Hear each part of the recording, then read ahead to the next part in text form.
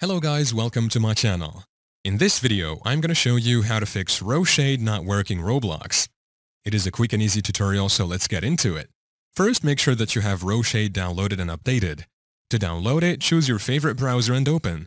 Once in, search for RoShade here, then tap on enter to go into the site. Once in here, we have all these sites. We need one Roblox shades, so tap on this option to open it. In here, just click on download to download it.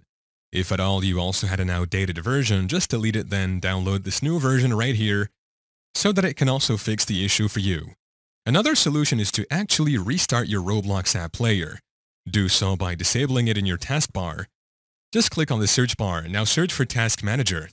We have the option right here. Click on Open to open it. In here, just find Roblox and end its task. Once done, go ahead and reopen Roblox.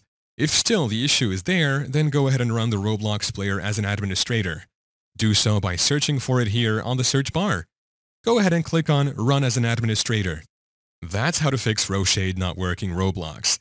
Thank you for watching. If this video was helpful, please leave a like and subscribe to my channel for more videos like this.